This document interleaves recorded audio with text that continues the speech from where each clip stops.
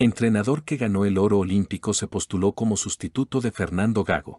Bienvenidos al canal Aficionados Rojiblanco. Suscríbase al canal para saber de todo lo que sucede con el club, justo cuando parece estar en duda el futuro de Fernando Gago como director técnico del rebaño sagrado. Un histórico entrenador del fútbol mexicano alzó la voz y reconoció que le gustaría dirigir de nueva cuenta al equipo más popular del país. Campeón olímpico con la selección mexicana en Londres 2012, Luis Fernando Tena mencionó que me gustaría volver a dirigir a Chivas. Fue una buena experiencia. Y es que el flaco tuvo una breve etapa con Guadalajara justo antes del parón provocado por la pandemia del COVID-19. Entre 2019 y 2020, dirigió 25 partidos de los cuales ganó 10, empató 7 y perdió 8, para 49.3% de efectividad.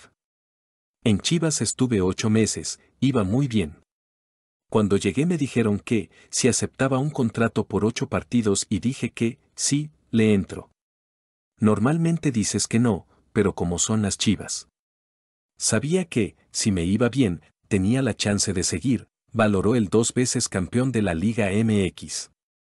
Actualmente, desde 2021, el flaco se encuentra como director técnico de la selección de Guatemala, con el firme objetivo de clasificarse al Mundial de 2026 pero después del ciclo mundialista, tendía entre sus planes poder volver a ser el entrenador de las Chivas.